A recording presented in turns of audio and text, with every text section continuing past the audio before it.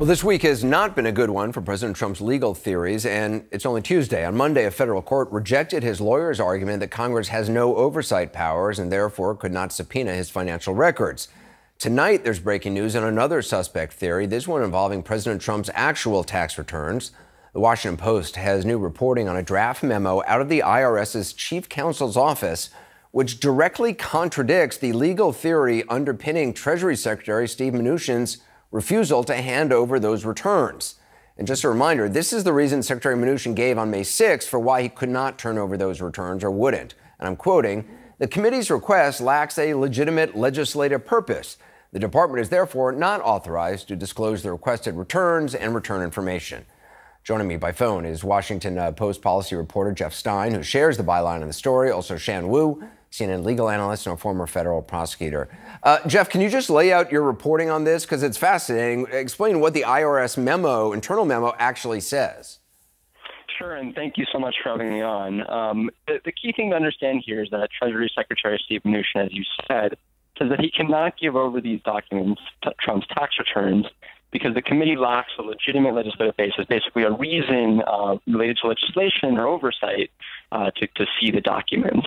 This memo, which was written in the fall and doesn't explicitly mention Trump, uh, this memo makes clear that that is not a legitimate grounds for denial in the view of whoever wrote it, in the view of this IRS um, attorney. And of course, Mnuchin is free to override or disagree with um, you know, his subordinates or people who work at the IRS, but it does, for the first time, speak to an extraordinary fissure disagreement uh, in the executive branch over really a, a critical issue. Right. I mean, the law, as it's written, is pretty clear. It essentially says, you know, the IRS shall turn over to, uh, you know, to the limited number of people who are authorized to receive. It doesn't give any qualifications of, well, they won't turn it over if they don't think there's a really good purpose for it. So just to be clear, this was a draft memo. It was never actually signed, right? That's correct. And the form we got it in, it was hard to verify because it was just it said draft all over it. it. There's no date, there's no signature, there's no even you know we don't even know who it was addressed to.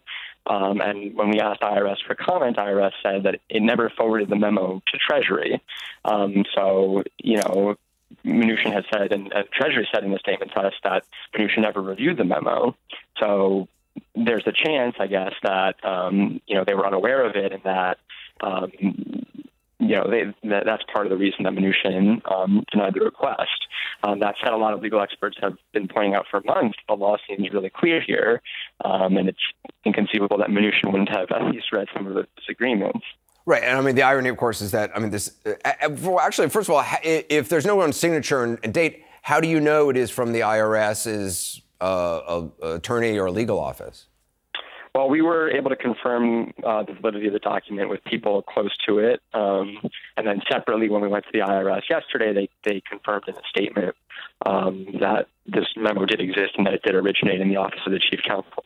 So, Shan, it's pretty damning when someone in the office of the chief counsel of the IRS writes a memo, even though it's just a draft memo, saying you can't not hand over the tax returns. I mean, it backs up what, what pretty much every legal expert has been saying about this. Right. I think that's a very easy assignment for that lawyer. Just the plain reading of the statute says, as they put it, there's no wiggle room uh, for the Treasury Secretary there. I don't think that the Secretary or his staff wants to see that memo, uh, but now that it's out, they're going to have to confront that. And they really don't have any good legal arguments there. I don't think a judge is going to buy that argument. I think they're going to presume that there's a legitimate legislative purpose behind the law. That's what Congress does. They have oversight. Uh, they also sort of reveal the weakness of their legal reasoning because they make this sort of schizophrenic argument, which is first, they want to say, eh, the law doesn't apply, there's no legitimate legislative purpose. But then they also say, but if it does apply, if it's being used correctly, then it's unconstitutional. So, Shan, if the president were to invoke executive privilege, uh, over you know tax returns that are uh, from the last six years. Could he do that? I don't think he could do that very successfully. That would be one of the weaker invocations of it. If you think about executive privilege, a little bit like a lawyer's attorney client privilege, it's meant to give the president the benefit of recommendations, opinions from his aides to make decisions. Right. It doesn't relate to everything that's happened in his past life before he was president. Right, exactly. There's nothing opinionated or a recommendation in his tax returns. They're just his tax returns. uh, it's fascinating. Jeff Stein, we'll see uh, how this develops. Uh, appreciate your reporting from the Washington Post as always. Shan Wu as well.